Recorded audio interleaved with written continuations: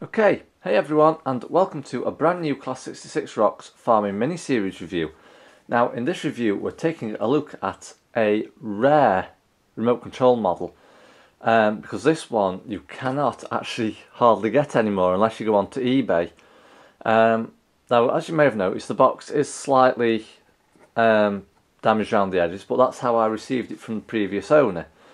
Um, but this model, I've been trying to get it for absolutely ages. Um, because I've got the other Siku Control 32 models, uh, apart from the Fendt, which I don't think I'll be purchasing. Um, but this one, um, what it is, I used to have a friend who used to work on a farm, um, where I used to do some photography work um, during the summer last year. And one day I was up there, this particular tractor was in being loaded. So I thought, I'm going to have to get hold of it. And eventually, um, I did manage to get it on eBay. I think I got it for about £125, something like that. Um, so I was quite happy that I actually had finally got it.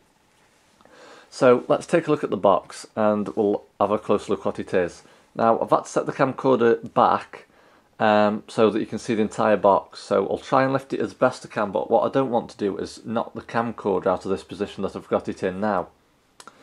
So as we can see it's a Siku Control 32 radio controlled tractor.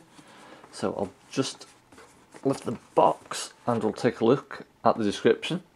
So it's in 132nd scale and as you can see it's a Deutz Fahr Agrotron X720. So as you can see there we've got an image of the tractor that we're going to be taking a look at today. It is by Siku um, and as you can see we've got the contents just there so you get the tractor, um, the battery, the charger, the wall charger and the remote control. So we'll just take a look at the sides of the box. So obviously as we can see here we have a front view of the tractor. Now what I'll do, I'll just try and turn it around to the back. Like I said, I've got the camcorder literally right next to where my arms are, so I'm just trying to avoid knocking it. So as you can see on the back, We've got an image of the Deutz Fahr front view and the Deutz Fahr back view. I'm showing you what works on this particular tractor. So as we can see, if we just take a look at these symbols, it's a radio controlled model, which we know.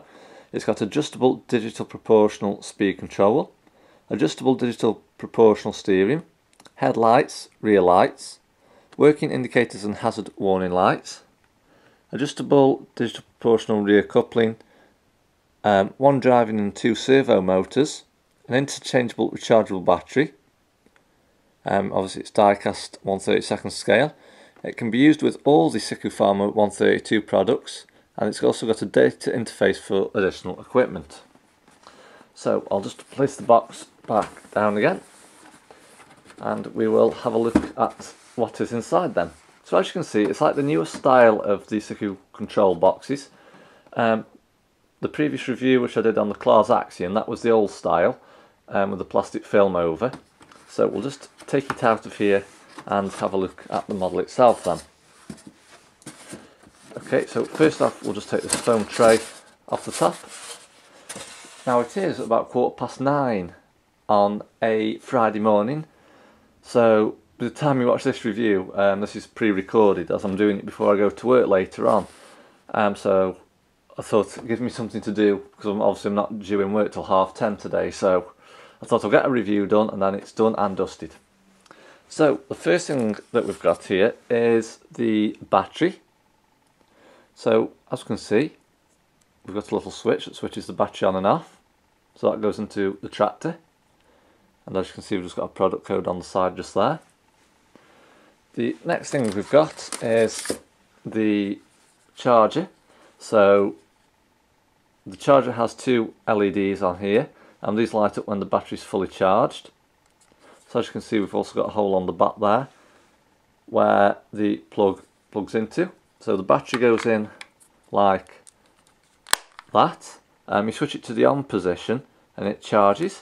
So we'll just take that out of there put it to one side. So as you can see here, we have got the wall charger.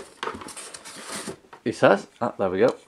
So as you can see, it's the 3-pin UK plug. Um, and we've also got the connector lead just here, which plugs into the back of your charger. The next thing that we have, it's like a little mini Christmas box this is, is the remote control. Now this is a newer style of remote control um, compared to the one in the Claas Axion review. Um, so you've got your steering on this control here. Um, this is for if you've got an implement on such as a trailer. You've got your forward and back and you've also got your up and down for lifting the implement. I mean, I might have these the wrong way around. That might be forward and back, and this one might be up and down for the implement, which I think it might be actually, because that's quite free moving, and this one's got a bit of uh, toughness in it, so I think this is for your steering.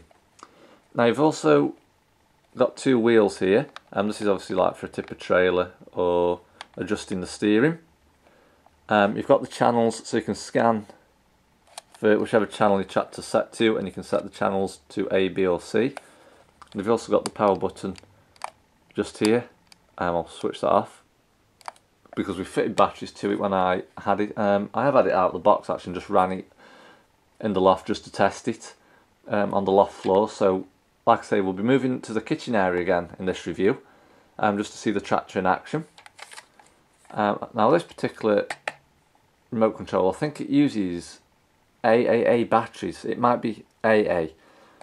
But if there's an instruction manual in this box, I will show you that as well. Um, it's also infrared as well, this remote, so you can stand anywhere um, within the vicinity and control the tractor. Okay, so let's just move on to the tractor now, and I'll just make sure the instructions aren't hidden in the bottom of the box. Um, no, there's no instructions in there. So, I mean, I am used to the Siku control range, so it's not a major detriment. Um, I'm used to knowing what works what now on these models. Okay, so here we have the Deutz-Fahr Agrotron. And first off, I've got to say, it's got quite a bit of weight to it. And it is in such a stunning colour. Um, it's like a lime green, actually. So let's start with the front of the tractor and take a look at it. Okay, so as we can see on the front, and um, we've got some lamps on the top of the cab roof just here. Um, now it has actually got quite a wide body this particular tractor. Um, so I'll try and show you inside the cab in a minute when we turn it round. So as you can see on the bonnet um, we've got a grill of sorts. Now I think this is actually it's like a sort of paper stick on um, it's not like a etched grill like you'd have on a model railway locomotive or anything like that.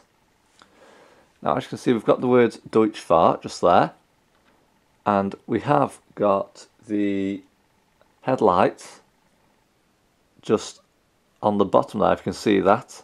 Now those two light up but unfortunately these five here just on the grill don't. Um, if you're wondering why I've got a plaster on my finger, um, I had a delivery yesterday and it's one of those that was stapled together with like a long bronze sort of staple. And I was undoing the box and the staple went straight down my finger. So I've got it covered up today because um, otherwise work will probably ask me to cover it up um, because obviously food hygiene etc so as you can see and um, we've got an adjustable uh, hook link at the front of the tractor um, obviously you have to adjust that by hand. Now if you're ever running this tractor over two separate types of surfaces, um, always remember to lift this up and put it on the high setting. It's just so this bottom bit misses catching, otherwise your tractor will probably get stuck. Now let's see if the bonnet opens on this particular one. No it doesn't. Um, because on the Claas it did, but unfortunately it doesn't open on the Deutz-Fahr.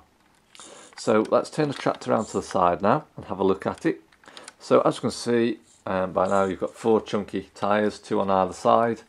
Um, so this is quite good like if you're running them outside um, because obviously you can drive over various surfaces. So as you can see on the side um, we have the word Agrotron and X720 if you can just about see that Oop, I nearly caught the camcorder tripod there.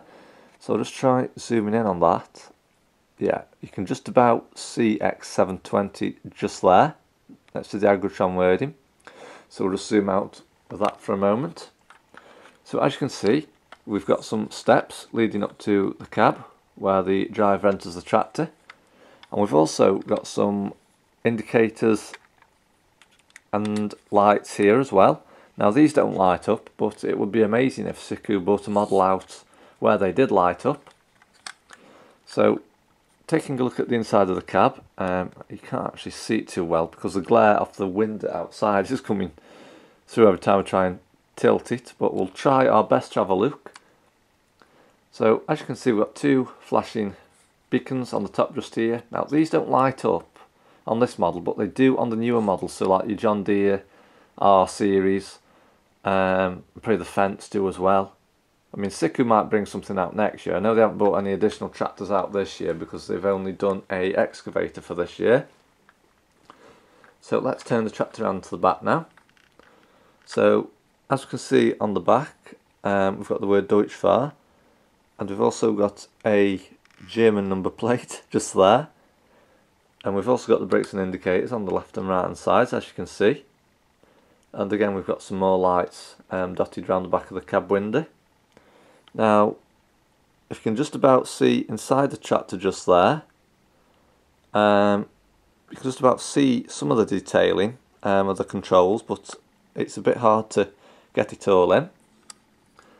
So moving down you can see an area where you've got all the um, link attachments, well where they go actually, and that little plug there is where you plug your trailer or whatnot into, the little 3.5mm jack I think it is, that just plugs into there so that that gets controlled off your remote control when you're driving the tractor.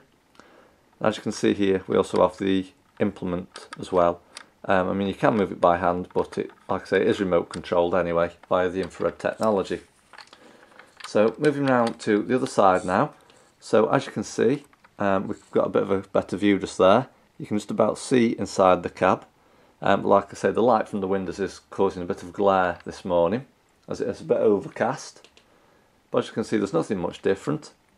Um, apart from we've got the exhaust pipe on this side as well. Um, so we've got the steps again and the Agrotron X720 wording. Um, and as you can see also, we've got a sticker just going around the bonnet area just there. So what we'll do now, um, I'll stop this half of the review and we will go into the kitchen dining area. I'll get my mini tripod set up and we will give this tractor a run.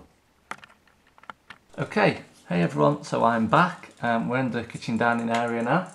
So what I'll do, I'll run the tractor past the camcorder um, at different angles um, just to show you it moving around.